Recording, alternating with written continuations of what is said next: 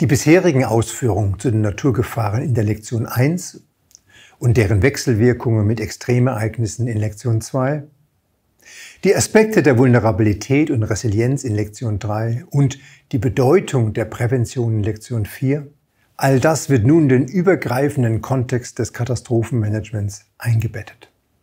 Es wurde schon auf die Terminologie hingewiesen. Zwar sind die Begriffe des Risikos und der Katastrophe klar getrennt definiert, aber im allgemeinen Sprachgebrauch wird Gefahrenmanagement, Risikomanagement, Katastrophenmanagement nicht klar unterschieden.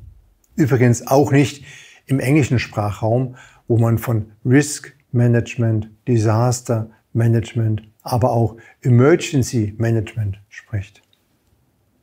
In früheren Einheiten erwähnte ich das klassische Risikomanagement und dieses möchte ich jetzt strukturiert vorstellen. Zuerst werden einige Definitionen reflektiert. Was ist also erstens zu verstehen unter Risikomanagement im englischen Risk Management? Rudolf Miklau definiert es in seinem Buch zum Naturgefahrenmanagement in Österreich als Steuerung aller Maßnahmen zum Schutz vor Naturgefahren mit dem Ziel, einen angestrebten Grad an Sicherheit zu erreichen und die Sicherheitsplanung den sich veränderten Umständen anzupassen.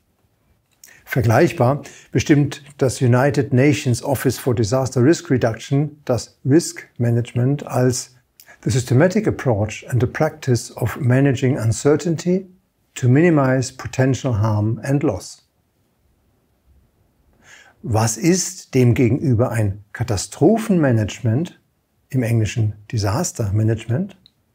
Rudolf Miklau schreibt, als Katastrophenmanagement bezeichnet man Maßnahmen zur Vermeidung oder Verminderung von Ereignissen und deren Konsequenzen, die Menschen oder Ressourcen beeinträchtigen und gefährden.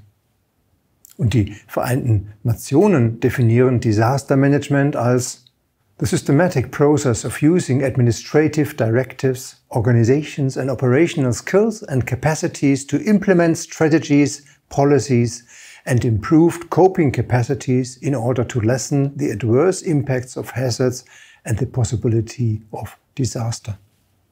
Dies korrespondiert mit der ÖNORM S2304 zu Katastrophen, Prävention und Hilfe, die Katastrophenmanagement auf den Punkt bringt als Gesamtheit aller aufeinander abgestimmten Maßnahmen in den Bereichen Katastrophenvermeidung, Katastrophenvorsorge, Katastrophenbewältigung und Wiederherstellung nach Katastrophen, einschließlich der laufenden Evaluierung der in diesen Bereichen getroffenen Maßnahmen. Aus den verschiedenen Definitionen wird deutlich, dass es keine einheitliche, strikte Terminologie gibt. Zentral ist in allen Beschreibungen jedoch, dass im Rahmen des Managements Maßnahmen ergriffen werden sollen, die die adversen Effekte von Gefahren gegenüber der sozialen Umwelt vermeiden oder zumindest verringern sollen. Als ausgezeichnet bewerte ich die neuesten Managementkonzepte des Sendai Rahmenprogramms von 2015, die fordern, dass ein risikobasiertes Management implementiert werden soll. Das Sendai-Rahmenprogramm bezieht sich auf die dritte Weltkonferenz der Vereinten Nationen über die Verringerung des Katastrophenrisikos, die 2015 in Sendai, Japan durchgeführt wurde und das daher auch seinen Namen erhält. Denn es soll nicht nur die potenzielle Exposition analysiert werden, es sollen auch und ganz besonders die potenziellen Auswirkungen, sprich die Konsequenzen aufgezeigt werden. Denn gerade die Kenntnis über die potenziellen Konsequenzen sind ja für die Festlegung von Maßnahmen essentiell. Und entsprechend definiert das Sendai-Programm das risikobasierte Katastrophenmanagement, im Englischen Risk-Based Disaster Management, wie folgt. Policies and practices for disaster risk management should be based on an understanding of disaster risk in all its dimensions of vulnerability, capacity, exposure of persons and assets, hazard characteristics and the environment.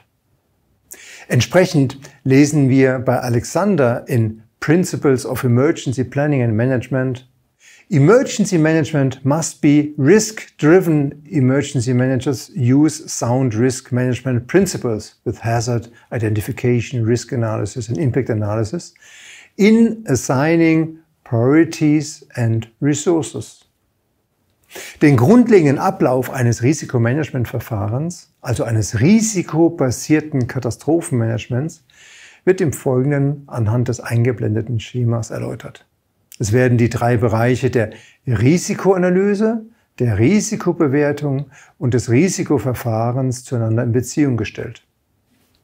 In der Risikoanalyse wird mit der Definition der Zielsetzung begonnen, in deren Rahmen dann neben den Inhalten auch die anzuwendenden Untersuchungsmethoden festgelegt werden. Im zweiten Schritt werden die Gefahren und Risiken definiert. Hierbei wird die jeweilige Gefahr lokalisiert und die potenziell betroffenen Gebiete bestimmt. Anschließend wird in der Risikoabschätzung die Gefahrenanalyse mit der Konsequenzenanalyse kombiniert, um die Risiken zu kalkulieren. Hierzu muss in der Gefahrenanalyse die Magnitude und die Frequenz des Auftretens bestimmt werden. Es müssen historische Informationen vergangener Ereignisse ausgewertet und in den Kontext der möglichen Auslöser gestellt werden. Im Rahmen der Konsequenzenanalyse müssen die Risikoelemente und deren jeweilige Vulnerabilitäten gegenüber der Naturgefahr untersucht werden. Zu den Risikoelementen zählen punktuelle Informationen wie Gebäude, Strommasten oder auch Menschen, linienhafte Strukturen wie Straßen, Wasserleitungen und Flächen, also beispielsweise eine Agrarfläche. Häufig unterscheidet man noch zwischen mobilen, also zum Beispiel Menschen oder Fahrzeuge, und statischen Risikoelementen, also zum Beispiel Gebäude oder eine Bahnlinie. Jedes Risikoelement hat ein bestimmtes Schadenspotenzial, wobei der eigentliche Schaden von den verschiedenen Vulnerabilitäten abhängig ist. Auch bei den Schadenspotenzialen unterteilt man in direkte Schäden, also zum Beispiel die Kosten für die Wiederherstellung einer Brücke, und indirekte Schäden, also zum Beispiel die Kosten, die entstehen, dass diese Brücke unterbrochen ist und dadurch der Verkehr umgeleitet werden muss oder gar Lieferketten unterbrochen werden.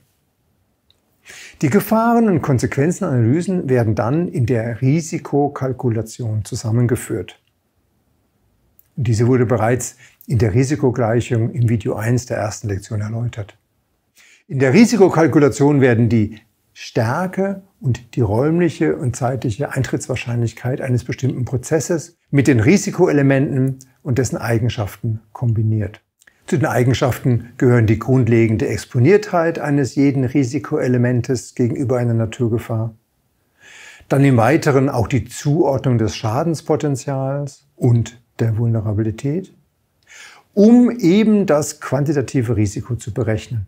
Diese Werte eignen sich dann ausgezeichnet, um verschiedene Gefahren und Risiken miteinander zu vergleichen und dienen als Grundlage für die weitere Risikobewertung. In der darauffolgenden Risikobewertung müssen die Risiken evaluiert werden. Hierzu muss festgelegt werden, welche Risiken ohne Maßnahmen akzeptierbar und welche Risiken nach bestimmten Maßnahmen tolerierbar sind. Im Falle von Maßnahmen müssen die Optionen abgewogen und Handlungsprioritäten gesetzt werden.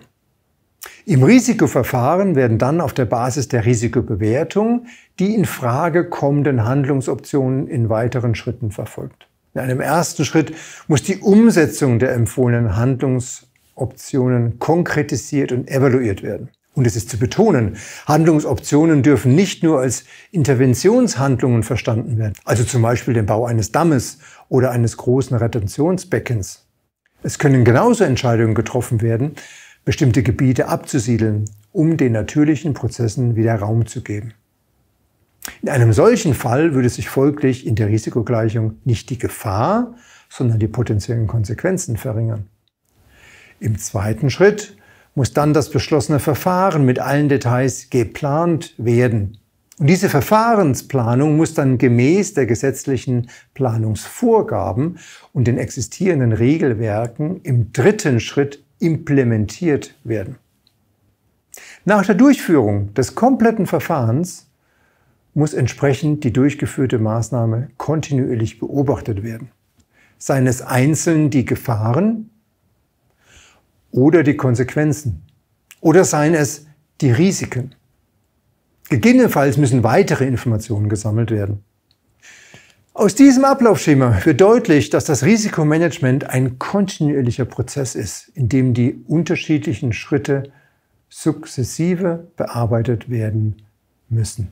Natürlich können die einzelnen Schritte in unterschiedlicher Bearbeitungstiefe durchgeführt werden. Manchmal reichen einfache Experteneinschätzungen. In anderen Fällen muss eine tiefgreifende Geländeerhebung mit langjährigen Monitoringprogrammen und Szenarienmodellierung erfolgen. Aber egal, in welcher Ausprägung das Risikomanagement durchgeführt wird, es muss im Risikozyklus eingebettet sein, der ja dezidiert die direkte Katastrophennachsorge mit der Bewältigung eines Ereignisses und dem Wiederaufbau und die Katastrophenvorsorge mit der Vorbeugung und der Vorbereitung beinhaltet.